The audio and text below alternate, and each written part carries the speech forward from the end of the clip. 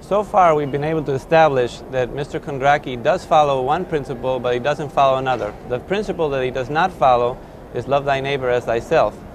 And I was trying to lead him to the conclusion that the reason why he doesn't follow that principle is because if he actually did follow it consistently, there would be a tremendous amount of adverse consequences. He would suffer and die. He, in fact, said that you would be crucified if you followed it, which I think is close to true. So I think what's happened here is that he's accepted a mistaken moral principle, and that's why he doesn't follow it.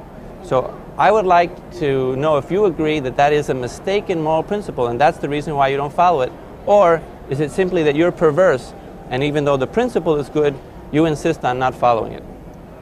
Uh, no, I think it is a I think it is a good moral principle, and I am that, that I am in, in a way perverse. Yeah. I mean, so you think, think, you're perverse? I think I think that that it is a. Funny, that, you strike me like a real nice well, guy. I know. Well, I am a nice guy.